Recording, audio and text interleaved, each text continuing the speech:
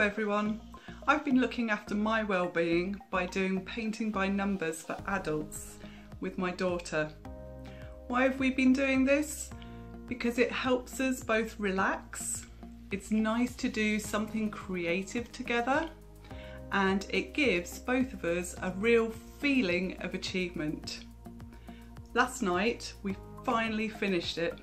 Have a look.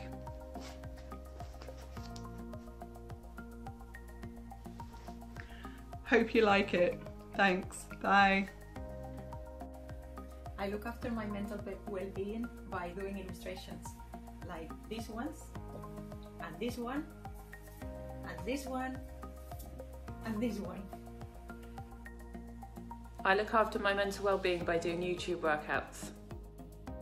Hello, here are my tips for staying mentally well. One of the things that I've picked up quite regularly is uh, doing yoga. I do this every single morning. I just feel it's a really nice way to start my day before the chaos kicks in.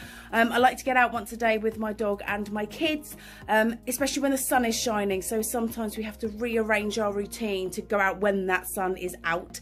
And my third thing is I love watching a Disney vlog. If you couldn't already tell, I'm a Disney fan. Um, just it is complete escapism and I feel that it allows me to switch off my brain uh, with everything else that's going on and just focus on the magic of Disney.